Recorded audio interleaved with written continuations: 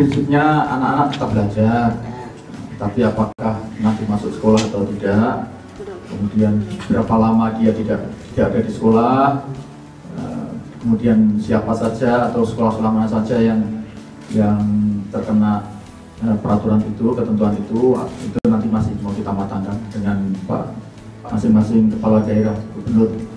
Eh, dan ada Pak Wakil Gubernur DKI dan juga nanti dengan Pak Gubernur Sumatera Selatan.